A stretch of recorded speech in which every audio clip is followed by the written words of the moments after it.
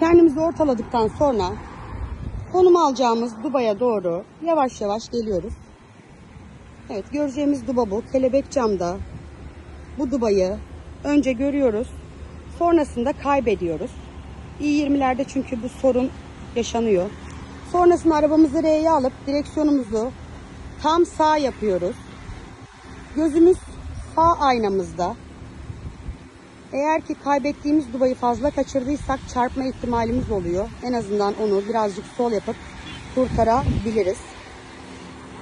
Sağ aynamızda çarpmadığımızdan emin olduktan sonra yavaş yavaş geliyoruz. Soldaki duba önce yanımıza gelince yavaşlayıp bir ince duruyoruz. Evet bakıyoruz ki yamuz. Evet aynamızla eşlendi. Şimdi durduk. Bir buçuk yapıyoruz. Çizgilerimizi kontrol ettik çünkü eminiz düzüz. Sonrasında içeri giriyoruz. Yavaş yavaş burnumuzun içeri girdiğinden emin olduktan sonra sağ sinyalimizi veriyoruz.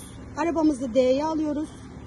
Çıkarken aynamız bu dubayı geçtikten sonra çevireceğiz. Acele etmiyoruz. Evet geçti. Çeviriyoruz.